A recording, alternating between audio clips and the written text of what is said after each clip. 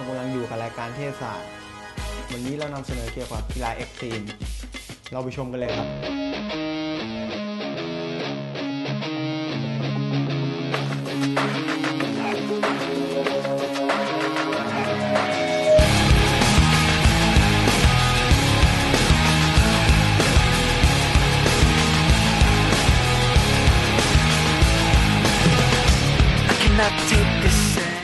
กลับมาพบกันอีกแล้วนะครับ กับรายการเท่ศาสตร์ครับ วันนี้ครับอยู่กับผมแพทย์สุภเกียรติบุญนาคครับผมแม็กอาทิตย์ครับ ตอนนี้ครับเราอยู่ที่ Thai Wake Park นะครับ หลายๆคนอาจจะรู้จักสถานที่นี้เป็นอย่างดีนะครับ วันนี้ผมจะมาสาธิตวิธีการเรียนรู้เล่น wakeboard นะครับ ถูกต้องครับกีฬา wakeboard นะครับเป็นกีฬาเอ็กซ์ตรีมอีกหนึ่งชนิดครับที่ต้องบอกว่ามันมากๆแล้วก็สนุกมากๆครับ แต่ว่าวิธีการเล่นให้เท่นั้นต้องทำยังไงบ้างต้องติดตามกับรายการนี้ครับ เท่ศาสตร์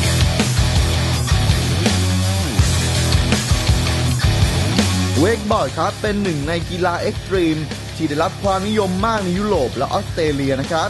แต่ยังไม่ค่อยได้รับความนิยมมากเท่าไหร่ เมื่อเปรียบเทียบกับกีฬาประเภทอื่นๆ แต่กีฬาชนิดนี้นะครับ ถือได้ว่าเป็นกีฬาที่สุดจะท้าทายอีกชนิดหนึ่งเลยละครับ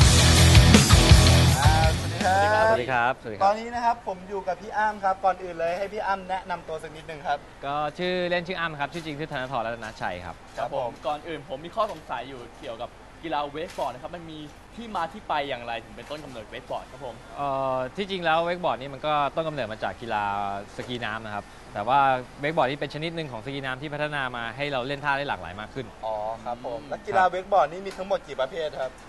เอ่อที่จริง wakeboard ก็จะคือเป็น wakeboard เนี่ยครับแต่ว่ามันจะมีกีฬาที่คล้าย ๆ กันที่อาจจะเห็นเคยเห็นกันที่เรียกว่าเวกสเก็ต อ๋อนั่นคืออันนี้ก็จะคล้ายๆกัน อัจะเป็นเวกบอร์ดแต่ก็คือเล่นบนน้ำเหมือนกันหมดใช่ครับ แล้วใช่คือแต่ละประเภทมันแตกต่างกันยังไงถึงเราจะรู้ว่าไอเพราะไอนี่คือเวสบอร์ดอีกอันหนึงก็คืออีกอย่างหนึ่ง ก็ถ้าสังเกตง่ายๆก็คือเวกบอร์ดจะมีบูทครับจะมีรองเท้ายึดติดกันอืมกับอ๋อบอร์ดก็คือเหมือนเป็นตัวบอร์ดปุ๊บแล้วก็จะมีรองเท้าให้ใส่ลงไปใช่ใช่ไหมครับ ซึ่งมันจะไขน็อตติดกันเลย แต่ว่าถ้าเวกสเก็ตเนี่ยมันเราจะเห็นเป็นหน้าตาเป็นบอร์ดเปล่าๆแล้วใส่รองเท้าผ้าใบขึ้นไปยืนอ๋ออันนี้คือจะควบคุมยากกว่านั่นใช่ไหมคือครับ อีกขั้นหนึ่งของจะเล่นเวสบอร์ดจะเล่นคนละแบบครับ ก็คือเวกสเวกบอร์ดที่จะตีลังกาผ่านโผนอ่าไปเลยใช่ไหมแต่อ๋อเวกสเก็ตนี่คือการเตะบอร์ดไปเตะบอร์ดมาเหมือนสเก็ตบอร์ดอ๋อ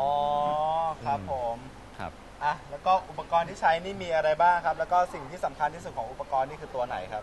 ก็อุปกรณ์หลักๆ ที่จริงแล้วก็คือสำคัญที่สุดก็คือบอร์ด ตัวบอร์ดตัวบอร์ดใช่ไหม กับตัวบูทเนี่ยครับตัวสำหรับบูเวท กบอร์ด แล้วก็นอกนั้นก็จะเป็นอุปกรณ์เซฟตี้ต่างๆ ที่เราจำเป็นมากๆ ก็คือเสื้อชูชีพกับหมวกกันน็อก อ๋อ แล้แล้ววก็ก็เห็นบางคนแบบจะมีใส่เป็นข้อศอกอ๋อ ด้วยคอัรันบนั้นอันนั้นไม่ต้องครับ อันนั้นอ๋อเพนั่นราะไม่เราไม่ไม่ต้องถึงขนาดนั้นนะครับ ใช่ครับเราไม่ได้มาอ๋อบู๊ถึงลงพื้นนะครับ ครับ แล้วผมอยากจะถามว่าอุปกรณ์ชิ้นไหนของเวสบอร์ดมันเท่แล้วบางคนแบบซื้อมาเป็นแบบแฟชั่นที่จริงเวกบอร์ดเดี๋ยวนี้มันก็เล่นมันก็เป็นแฟชั่น ไปซะหลายอย่างครับเขาเขาก็รวมไปถึงทั้งทั้งบอร์ดทั้งบูทเนี่ยอ๋คอรับ จะมีแบบเป็นมีหลายการรุ่น แต่งตัวของคนเล่นเวกบอร์ดด้วยใช่ไหมครับการแต่งตัวด้วยครับ ทั้งบอร์ดช็อตทั้งเสื้อที่เขาใส่เสื้อชูชีพอะไรอย่างเนี้ย ก็มาถึงขนาดนี้แล้วนะครับ ผมว่าเอาเป็นว่าไปดูข้างในกันบ้างดีกว่านะครับพี่เออให้พี่อ้ำพาไปดีกว่าข้างในนี่มีอะไรโชว์บ้างตามเลยดีกว่าตามมาเลยครับผมนะครับพี่อ้ำครับ ครับเนี่ยครับก็มีอุปกรณ์หลายอย่างจะเป็นถ้าเสื้อชูชีพที่เราพูดถึงก็จะเป็นอยู่ตรงนี้ครับ แล้วก็ก็จะได้เลยนะว่าแฟชั่นหมวกนี่เลือกได้แล้วแต่คนจะชอบใช่ไหม ใช่ ครับใช่จะมีหลายรุ่นหลายดีไซน์มาก โอ้โหชูชีพนี่พี่ก็ดูดิครับชูชีพก็เหมือนกันครับ หลากสีสันมากครับอื้อหือ ทุกวันนี้เวกบอร์ดจะแนะนำเอ้ยจะนิยมใส่ชูชีพประเภทอย่างนี้ครับที่ซึ่งมันจะบางกว่าแล้วก็พอดีตัวกว่าอ๋อซึ่งแบบมันก็มีหครับลายดีไซน์ด้วย อ่ารวมถึงหมวกด้วยนะครับ แล้วก็มีกระเป๋าด้วยกระเป๋านี่คือเป็นพวกกระเป๋ากันน้ำใช่ไหมครับใช่ครับ ก็อาจจะคนมีผ้าเปียกมีอะไรอย่างเงี้ยก็จะนิยมพวกนี้ อื้อหือถุงมืออย่างเงี้ยครับจำเป็นไหมครับอย่างเป็นอุปกรณ์เสริมอะครับ ใช่เป็นอุปกรณ์เสริมครับ จะไม่ได้ใส่กันทุกคนครับ แต่ว่าสำหรับบางคนที่อยากไม่อยากจะเจ็บมือมากอะไรเงี้ยอืมเขาก็จะจะใส่กันครับ นี่เรามาดูตรงรองเท้าดีกว่าผมสนใจรองเท้าเขามากเลยครับว่ามันนี่ครับ ยิ่งใหญ่ครัมาบกผมเชิญเลยครับพี่อ้ำก็อันนี้ก็จะเป็นบูท ต่างๆครับเป็นมีหลายรุ่นมากคล้ายๆ กับเรื่องรองเท้าเลยที่มันจะมีหลายรุ่น แล้วแต่ว่าชอบรุ่นไหนก็สามารถติดกับบอร์ดได้ทุกตัวครับก็คือคนหนึ่งก็ชอบแบบบอร์ดรุ่นแต่ละรุ่นก็จะซัพพอร์ตไม่เหมือนกันนะครับรองเท้า อ๋อยังตัวเหล็กด้านข้างนี่คืออะไรอะคก็รับคือตัวรูที่เราจะยึดเป็นตัวติดกับบออ๋อร์ดคือเหมือนตัตัววกระบอกเป็นน็อตตัวบอร์ดคือมันจะมีเหล็กยื่นขึ้นมาครับเป็นหรือว่าเป็นยังไง เป็นรูลงไปครับแล้วเป็นรูก็จะคืออันมีนี้น็อตใส่ ใส่เข้าไป อ๋อเราพูล็ดอกถึงลงไปเลรองเท้าแล้ยวมาดูบอร์ดดีกว่าไหมครับหน้าตาจะเป็นอย่างเงี้ยครับมาครับเนี่ยสมมติลองมันติดดูครับ เวลามันติดกันแล้วมันก็จะใหญ่เป็นเหแบมือบนกันนะเนี่ย อ๋อคือจะเป็นตัวล็อกแบบนี้นะครับเพื่อนๆครับใช่ ก็จะคือเราเล่นท่าต่างๆ กระโดดเรียนกาไปมันก็จะตามเราไปตลอดติดเอาแล้วถ้าสมมุติแบบเราตกน้ำครับ แล้วเวลาถอดเอาเราก็ถอดยากหมถอดได้ครับ ไม่ไม่ยากครับ เราจะมีวิธีปลดพอเราตกน้ำลอยในน้ำแล้วเราปลดปุ๊บมันก็จะหลุด อ๋อจะหลุดขึ้นมาเลยจะหลุดเลย ใช่ไหมครับ ขอไปดูที่บอร์ดต่อนะครับพี่อ้ำครับ ครับเดี๋ยวไปทางนี้ อย่างที่พี่แบงค์พูดมาเมื่อกี้นะครับ ว่าบอร์ดจะใช่มีครับ หลากหลายสีสันให้เลือกมากมายใช่ครับการที่ทางนี้ก็ถ้าจะให้เหมาะสมก็ควรจะเลือกให้เหมาะสมกับคนเล่นด้วย เพราะบอร์ดแต่ละตัวก็จะเป็นคนละทรงแล้วก็คนละรุ่นมันก็จะเล่นต่างกัน แล้วก็คือถามนี่คือแตกทรต่างงกันหนึ่งไปนี่คือเหมาะกับคนที่เป็นบริบูรณ์เป็นขนา ดเออมีสไตล์ใช่ครับกาเล่นใช่ครับบอร์ดคืออย่างเงี้ยบอร์ดแต่ละตัวแต่ละรุ่นเนี่ยก็จะเป็นคนละทรงครับ อ่าฮะ แต่ละทรงก็จะมีไซส์อีกอ่าก็คือถ้าเราจะให้เหมาะสมจริงเราก็ควรจะเลือกไซส์ให้เหมาะกับน้ำหนักคนเล่น อ๋อ แล้วทีเนี้ยทรงอะมันก็จะแบบบางบอร์ดเร็วบอร์ดช้าบอร์ดลื่นบอร์ดเกาะอะไรเงี้ยครับ ก็ควรจะเลือกให้เหมาะกับสไตล์ของ อ๋อ นี่คือเป็นความแตกต่างของแต่ละบอร์ดใช่ไหมครับใช่ครับ และขนาดแต่ละขนาดเนี่ยมันต่างกันยังไงบ้างครับ อย่างฝั่งนู้นคือจะเป็นบอร์ดเล็กหน่อย อย่างนี้คือบอร์ดใหญ่อันนี้คือเวสเกตอ๋อ นี่คือเวสเกตเวสเกตจะเล็กกว่า อ๋อ นี่คือที่พี่อ้ำพูดมาตอนแรกนะครับใช่นี่ครับคือเป็นเนี่ยสำหรับเว Westgate สเกตครับก็คือจะไม่มีตัวไม่ตัวมีล็อกรองเท้า อ่าอย่างนี้คือเป็นเวสบอร์ดสำหรับบอร์ดนะครับของผู้หญิงกับผู้ชายนี่แตกต่างกันไหมครับก็จะแตกต่างครับส่วนใหญ่จะอยู่ที่ไซส์ครับ อ๋ออยู่ที่ไซส์คือทั้งหมดคืออยู่ไซส์ที่เล็กไซหน่อยส์ใช่ นี่ครับเราก็ดูของไปเยอะแยะนะครับมาถามพี่อ้ำบ้างดีกว่าครับว่าสถานที่การเล่นเนี่ยครับเวกบอร์ดนี่มีความสำคัญยังไงบ้างครับ สถานที่จริงๆก็มีมีส่วนบ้างครับสำหรับแบบบางบางที่ อย่างที่นี่ทำมาใหม่มันก็จะมีลักษณะของมุมเข้าโค้งที่ง่ายขึ้น นั่นก็เป็นข้อพิเศษของสนามที่นี่มากกว่าที่อื่นใช่ไหมครับที่มีความใช่ แตกต่างจากที่อื่นยังไง ใช่ครับ เวลาเข้าโค้งที่จะจะนุ่มนวลกว่าและง่ายกว่าครับ ถ้าเข้าโค้งที่อื่นที่ก่อนๆมาที่มีมา ก็จะเป็นแบบหักมุมซะมากกหัว่ากมุมมันจะแบบเล่แข็นง ยากใช่ไหมมันครับจะกระชากหน่อยครับ อ๋อแล้วก็มีอีกคำถามหนึ่งครับ ผมเห็นว่ามีเสาเคเบิลอยู่ถึง 5 เสาเลย ที่ใช่นี่ครับ แตกต่างกับที่อื่นทำไมเสาเคเบิลต้องมีเยอะครับก็ก็เพก็ราะอะไรครับก็ ตัวเนี้ยครับที่บอกว่ามันจะทำให้การเข้าโค้งของเราง่ายขึ้นง่ายขึ้นง่ายขึ้นเพราะว่าจะไม่แบบตั้งฉากเป็น 90 สี่เหลี่ยมอะไรอย่างเงี้ยครับ แล้วทีนี้ผมจะถามว่าถ้าเราอยากจะเล่น wakeboard อะไรเพื่อนหลายๆคนเห็นแล้วสนใจขึ้นมาคือจะต้องเตรียมตัวยังไง คือต้องฟิตเนสไหมต้องแบบก็ ทำให้ร่างกายเราแข็งแรงหรือเปล่า อะไรเช่นนี้ก็ครับผมจริงๆก็ก็ถ้าฟิตมาได้ก็ดีครับ แต่ว่า ฟิตมาได้ก็ดี แต่ว่ากีฬานี้ มันก็ต้องใช้แรงครับกีฬาเนี้ยอ่าต้องใช้แรงมันใช่ไหมครับทุกแต่ว่ากีฬแต่ว่ามันก็ไม่ได้ต้องเยอะขนาดนั้นสำหรับอืมคนที่เคยมาเล่นบางทีก็เป็นคนธรรมดาที่ไม่เคยเล่นกีฬามาก็เคยครับผม มาเล่น แต่ว่าอาจจะเมื่อยนิดนึงเล่นเสร็จอะไรอย่างเงี้ยฮะ พี่ผมก็เมื่อยทุกคืนเหมือนกันครับ เล่นกีฬาในร่มประจำเลยครับครับผมพี่ชายผมคนนี้ใช่ไหมครับหืมเตะฟุตบอลอะไรอย่างเตะนี้บอลครับในร่มอ่าคืนเมื่อวานไปเตะมาถึงอ๋อห้าทุ่มครับครับผผมมขอบคุณครับน้องแพน ครับผม เอาเป็ครันบว่าต้องทำยังไงบ้างครับ ตอนนี้ผมอยากเล่นน้ำแล้วดีกว่า ได้อย่างนี้เราไปเปลี่ยนชุดก่อนดีกว่าเปลี่ยนชุดชุดนี้ไม่ได้ครับพี่ชุดนี้ไม่ได้ครับโอ้โหผมอยากจะลงไปแบบรอๆโอเคครับหน่เดี๋อยยวคนนี้เขาจะใส่ชุดนี้เล่นนะครับ ถ้าไม่เห็นก็ ก็ดูที่สัจจะของคนเรานะครับผมโอเคผมครับจะเปลี่ยนแล้วครับ ไปเลยดีกว่าครับ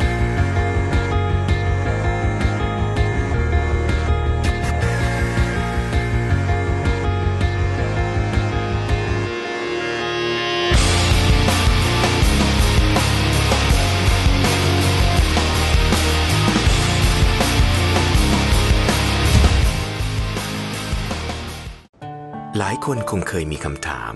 เพราะอะไรเราถึงแบ่งปัน เพราะเราอยากให้ความช่วยเหลือ เพราะคำพูดคมๆ เพราะความคิดดีๆ เพราะเรื่องราวสนุกๆหรืออาจเพราะ ความประทับใจ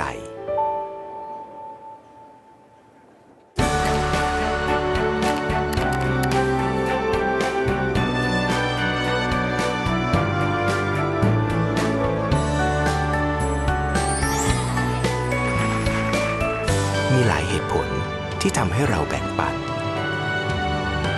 มหาวิทยาลัยรังสิตร่วมสร้างสังคมแห่งการให้และการแบ่งปัน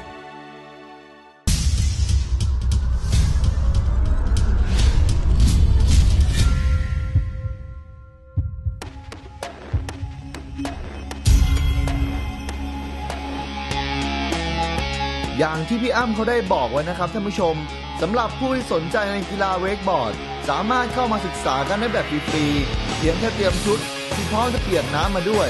และสิ่งที่สำคัญที่ขาดไม่ได้เลยนั่นก็คือหมวกกันน็อกครับ อุปกรณ์นอกจากนั้นทาง Thai Wake Park มีบริการให้แบบฟรีๆครับ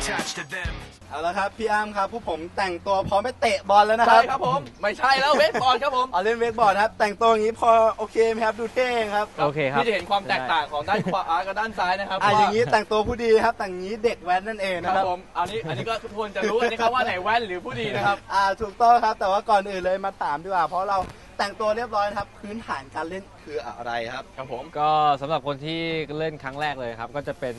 บอร์ดพื้นฐานที่เรียกเรียกว่านีบอร์ด นี่อืมจะแตกก็ต่าคืงอกัก็คือนั่งบอร์ดเข่านั่นเองนะครับน่ารัใช่กน่ารัก นั่งคุกเข่าไปเดี๋ยวผมจะโชว์ความเท่ในการคุกเข่าแล้วก็นั่งงอๆนะคโชรับว์ครับไหนคุณพี่แบงค์ครับ นี่ไม่อยากจะโชว์ความหล่อนี่ท่าแรกท่านี้เลย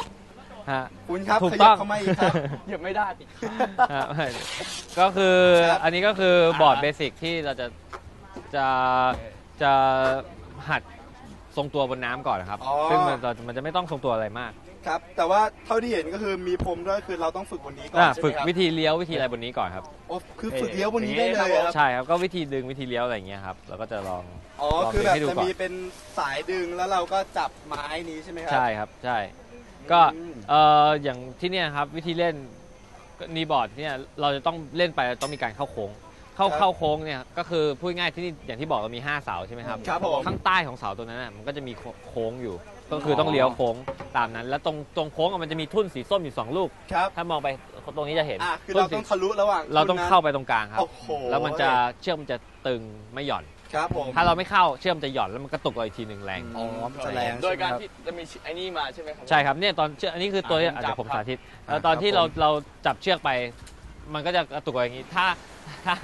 ถ้าไม่ใช่ครับจับแขนครับ ถ้าถ้าที่ถูกต้องของของตัวนี้ก็คือเราต้องจับเชือกไว้พ อประมาณยื่นออกไปหน่อยครับ แป๊บนึงครับไอ้ข้างหลังขยบผมทำไมครับเปล่าครับ ก็ยื่นยื่นออกไปนิดนึงยื่นมานิดนึงอ่ายื่นแล้วก็ก้มตัวมาให้มากที่สุดครับ อืม แล้วก็แต่มองไปหน้ามองไปข้างหน้านะคก้รับ มลงไปครับอะเนี่ย มองไปข้างหน้าครับ เวลาเวลามันเฮ้ยเวลามันเวลามันออกตัวเวลามันเวลามันออกตัวมันจะกระตุกกันนิดนึงครับกระตุกแบบนี้จับไว้อย่างเงี้ยสมมติเราเล่นไปอย่างเงี้ยเราเล่นไปเราจะต้องเข้าโค้งแล้วสมมติเราเล่นไปที่ทุ่นสองสีส้มสองครับลูกผม อยู่ด้านขวาเรานะครับ ครับผม คือเราตอนนี้เราต้องเลี้ยวขวาออกไป ครับ เพื่อเข้าระหว่างกลางทุ่นให้ได้ วิธีเลี้ยว เราเอี้ยวตัวเอาอะไรวิธีเลี้ยวขวาก็คือ สมมติเราตอนที่เราก้มอยู่ท่านี้นะคครัรับ บผมท่านี้เราดึงเชือกเข้าเอวซ้ายเรา ดึงเชือกเข้าหาเอวไม่ใช่ไม่ใช่ดึงดึงตรงๆดึไม่งใช่ตรงๆคครัรับบดึดึงงตตรรงงนี้ครับดึงตรงอ่าอ่าคุณนี่ไม่มีเบสิกดึงตรงแล้วก็เอียวด้านขวานี่บอร์ดจะเริ่มเลี้ยวอ่า บอร์ดจะเริ่มเลี้ยวถ้าดึงเยอะไปเราก็จะเตะอ่าอุ้ย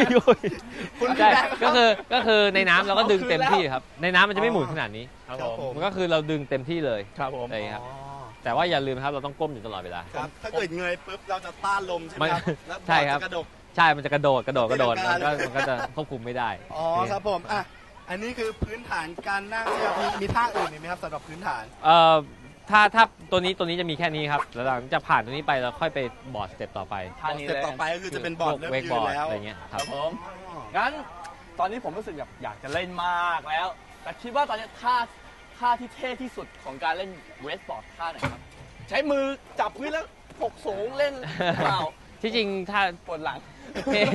มันก็มันก็มันก็บอกไม่ได้ครับว่าท่าไหนเท่ที่สุดเพราะเดี๋ยวนี้เวกบอร์ดก็เล่นเกี่ยวกับความสวยงามอ๋อด้วยได้หลายท่า ทุกท่าครับมันจะอยู่ที่สมมุติเราขึ้นไปทำท่าเราจับบอร์ดเรามีการจัดสรีระร่างกายเราให้สวยงามมันก็จะดูอ่าดูก่อนดีต้องจัดด้วยใช่แล้แล้ววอ่า ใช่ครับอยู่ที่ ครับตอนนี้ก็ให้สาธิตเอ่อให้โดยที่มีหนูทดลองครับ คือน้องแพนนะครับ ทดลองเลยนะครับ ครับที่ลองลองให้ก็สอนเลี้ยวซ้ายเลี้ยวขวาเอ่อวิก็ท่าที่เล่นนะครับ คือจับเชือกไว้ข้างหน้าอย่างนี้ก้มตัวก้มตัวไปให้เยอะที่ก้สุนดตัวยิ่ง ต่ำๆกดหัวลงนี้ใช่ไหมครับผมแล้วเงยหน้ามองหน้าครับเงยหน้าแต่ว่ามองข้างหน้ายิ่งครับยิ่งยิ่งเราก้มตัวเยอะมันจะยิ่งง่ายครับใช่บอร์ดจะยิ่งนิ่งอย่างนี้โอเคไหมครับ ครับไม่ต้องเอ่อถอยขึ้นมานิดนึงครับแขนถอยขึ้นมาอ่าประมาณนี้ครับผมกลางๆ แล้วตอนกระตุกออกตัวจะออกจะกระตุกนิดนึงนะครับ มันจะกระตุกแบบนี้จับไว้จับไว้เฉยอ่าอ่าโอเคแล้วก็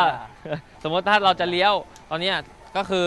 ต้องเลี้ยวขวาให้ได้ก่อนครับ พอเลี้ยวขวาเสร็จเราจะเลี้ยวเราก็ดึงเชือกมาที่เอวซ้ายเอียงตัวด้านดึงขเอวาวซ้ายอ๋อดึงเชือกที่เอวซ้ายเอียงด้านตัวขวาเอียงคตัวรัด้าบนผมนั่น ดึงดึงเอวซ้ายถูกแล้วครับ ถูกดึงถูกครับตงนี้ครับผมเออผมถูกแล้วเมื่อกี้ผมแล้วถูกเอียงแล้วตัวด้านขวาอ่าอ่าอย่างเงี้ยพอดึงยิ่งดึงเยอะมันจะยิ่งเลี้ยวอ่าครับ คือในน้ำมันก็ดึงเต็มที่เลยแล้วครับพี่ผไม่มต้อง สงสัยอย่างหนึ่งครับ คือถ้าเวลาเล่นจริง ๆ มีการหมุนอย่างนี้ไหมครับ มันหมุนติ้วติ้วอย่างเงี้ย มันหมุนอย่างเงี้ยไหมครับ ผมเวียนหัวครับ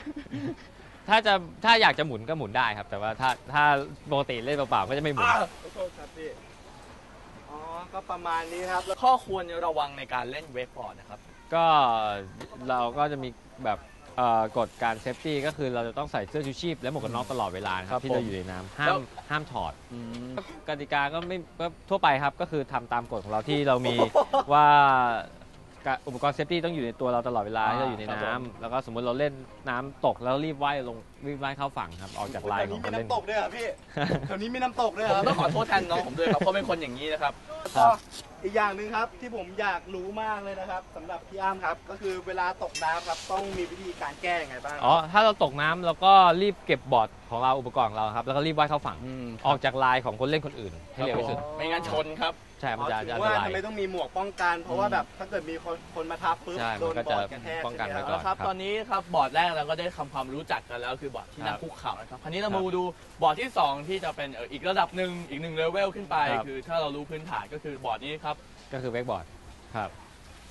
ใช่ครับผมเวกบอร์ดนี่ก็สำหรับยังไงครับ ก็สำหรับเริ่มยืนนะครับทีอ่าเนี้ยผมสาธิตให้ดูนะครับ พอยืนอย่างนี้ครับเวอ้าวไม่ใช่เวกครับเวกบอร์ดเนี่ยก็คือคล้ายๆกับแบบเราเราจะ ยืนเอาหันข้างไปนะครับครับ ข้างใดข้างหนึ่งก็คือสมมุติถ้าเราถนัดขาขวาเราก็จะขวาขาขวานำเอาข้างถนัดข้างไหนเอาข้างนั้นนำถ้าเกิดสองข้างนี้ไม่ได้ใช่ไหมครับไม่ได้ครับ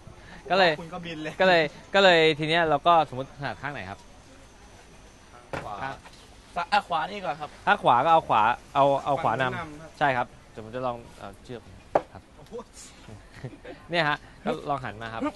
ทีเนี้ยเวกบอร์ดก็เวลาเราจับเชือกเรายืนให้เต็มเท้านะครับ น้ำหนักเท่ากันสองข้าง ครับผม พอเรายืนเสร็จเราบิดหัวไหล่มามาด้าน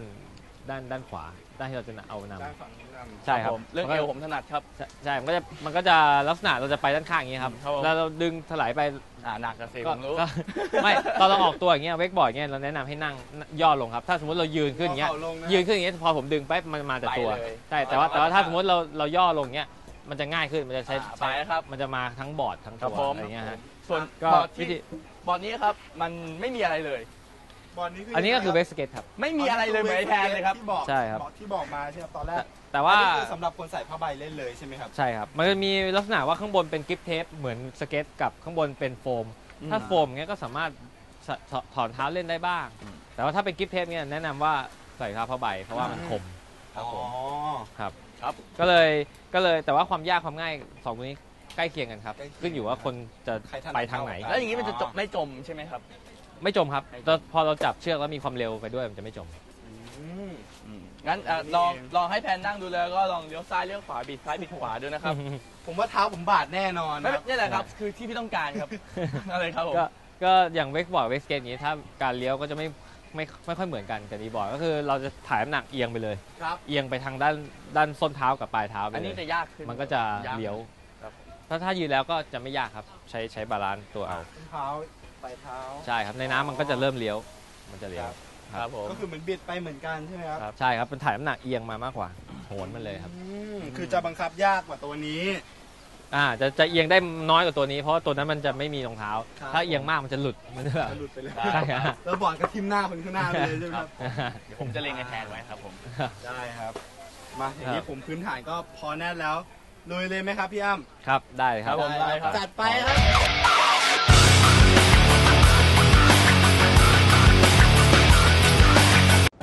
หลายคนคงเคยมีคำถาม เพราะอะไรเราถึงแบ่งปัน เพราะเราอยากให้ความช่วยเหลือ เพราะคำพูดคมๆ เพราะความคิดดีๆ เพราะเรื่องราวสนุกสนุก หรืออาจเพราะ ความประทับใจ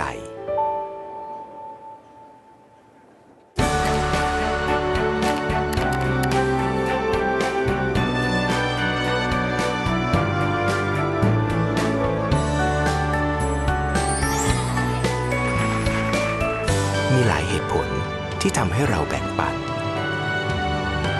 มหาวิทยาลัยรังสิตร่วมสร้างสังคมแห่งการให้และการแบ่งปัน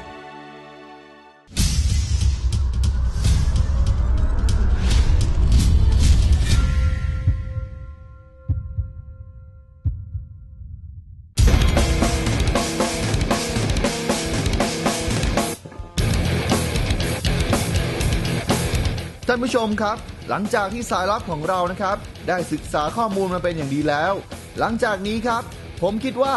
เขาคงจะทำมันออกมาได้ดีแน่ ๆ ครับ หน่วยการร่างกายครบถ้วนขนาดนี้นะครับ จะออกมาดีหรือไม่นั้น เราไปติดตามรับชมกันเลยครับ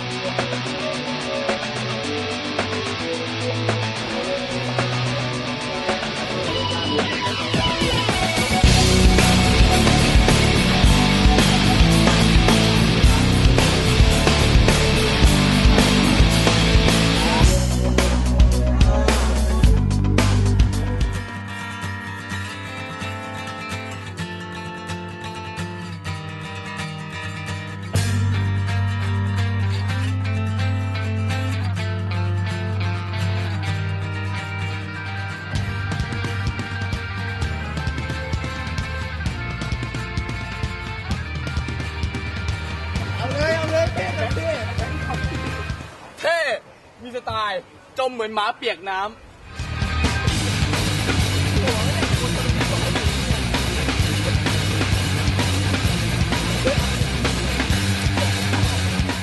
ดูนะครับ น้องแพนนะครับกำลังจะไปเล่นแล้วครับ ผมว่าล่วงตั้งแต่แรกครับ ผมบอกแล้วครับ เป็นไงครับ มันล่วง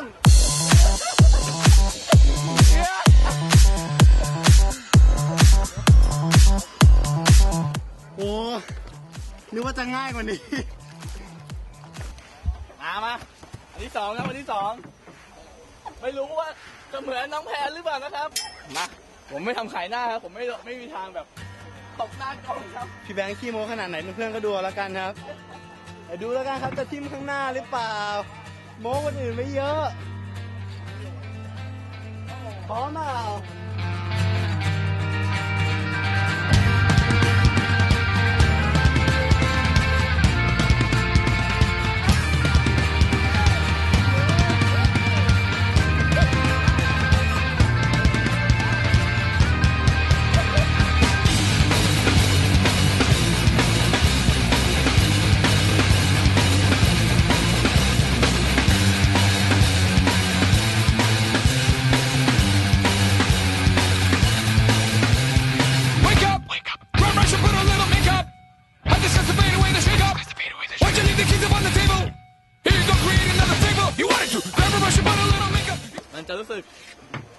จะกลัวล้มเมื่อไหร่เถอะแต่สิ่งที่คุณจะไม่ชอบที่สุดคือเวลาที่คุณล้มแล้วคุณต้องว่ายกลับมา โคตรเหนื่อยเลยครับรับรองผอมแน่ครับกีฬานี้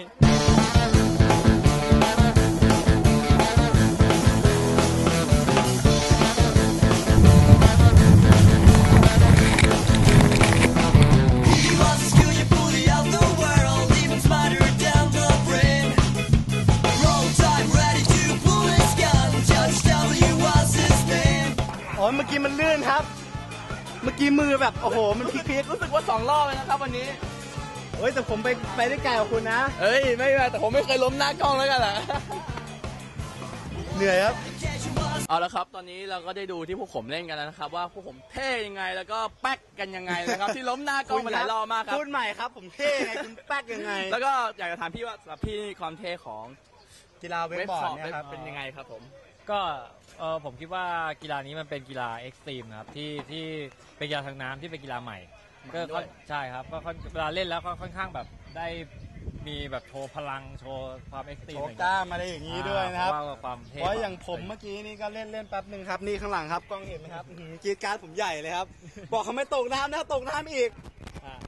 เออ ขอโทษแทนด้วยครับอะครับมาต่อกันครับมันก็ไร้สาระมาพอแล้ว ก็ตอนนี้ก็อยากจะให้พี่อ้ำนะครับ ฝากที่เหลือด้วยนะครับผมอ่าฝากทิ้งท้ายสักนิดนึงครับ สมมุติว่าถ้าเกิดเพื่อนๆทางบ้านนะครับ สนใจกีฬาเวกบอร์ดต้องทำยังไงบ้างครับ ก็ฝากฝาก เอ่อเพื่อนๆนะครับที่สนใจอยากจะลองกีฬานี้ก็มาลองเล่นกันได้นะครับที่บึงไทยเวกพาร์คอยู่ลำลูกกาเรียบคลองหกเนี่ยครับครับผมถูกต้องแล้วก็ครับตอนนี้หลังจากนี้ครับผมกับแพนก็คุกเข่ากันได้แล้ว ครับ ตอนนี้จะเริ่มยืนขาเดียวเล่นกันแล้วครับสองขาแล้วกันครับสองขาครับผมสองขาให้รอดกันดีกเดี๋ยวว่าจะมาดูครับว่าพวกผมจะแป๊กยังไงเห็นคนเสื้อขาวตรงนี้ครับไปแล้วครับอ่าไปคุณบ้พาราแล้วเขตคุณนั่นพาเอรางนะครับขตแต่ว่าก่อนอื่นครับต้องขอขอบคุณพี่อ้ำในวันนี้มากครับครับที่ให้อ้วเป็นสถานที่ครับขอบคุณขอบคุณคครัรับบ ใครสนใจนะครับสำหรับเพื่อนๆทางบ้านครับ สามารถมาที่นี่ได้เลยนะครับ อย่างที่พี่อ้ำบอกไปนะคครัรับบผมไทยเวกปานนั่นเองนะครับ อยู่ที่คลอง6นี่เองนะครัครับบยังไงก็สามารถมาติดต่อสอบถามได้เลยนะจ๊ะครับยังไง ตอนนี้ขอลาไปก่อนแล้วกันนะครับ ขอไปเล่นความสนุกกันต่อดีกว่าได้คครัรับบผมยังไงเจอกันใหม่ในเอ่ออาทิตย์ต่อไปแล้วกันนะครับ ตอนนี้ขอลาไปแล้วครับ สวัสดีครับ เป็นไงบ้างครับกับกีฬาเอ็กซ์ตรีม หวังว่าท่านผู้ชมคงจะสนุกกันนะครับ แต่วันนี้เวลาหมดลงแล้ว ผมต้องขอตัวลาไปก่อน แล้วติดตามชมกันในอาทิตย์หน้าครับ สวัสดีครับ